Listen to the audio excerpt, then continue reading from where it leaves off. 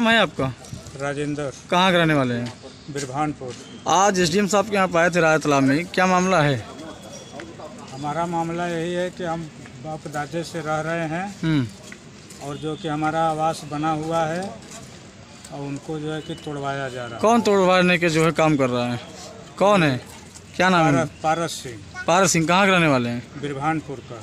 क्या उनका कहना है? क्या वो कह रहे हैं कि वो ज़मीन किसकी है? क्या आपकी ज़मीन है? किसकी है वो जो है? नहीं ज़मीन तो मेरी है। हाँ। उसके बगल में उनका है तो उनका बात है कि वो चक्रोट मांग रहे हैं। हाँ। ज़बरदस्ती चक्रोट मांग रहे हैं। आवास किसमें बना है आपका? किस नंबर में? हमारा नंबर में है सोलह सौ छत्तीस में। आदेश जो तहसीलदार को न्यायालय से हुआ है सोलह सौ सैंतालीस नंबर में हुआ है तो वो सोलह सौ छत्तीस क्यों तोड़ रहे हैं जो है? क्यों तोड़वाने का काम कर रहे हैं? क्या कारण है? ये- चक्रोट के कारण तोड़वा रहे हैं सर। क्या मांग है आपकी? तहसील एसडीएम साहब से क्या मांग किए हैं आप? हम लोग मांग यही कर रहे हैं कि हम लोग का ज़मीन और हम लोग का आवास नहीं टूटना चाहिए।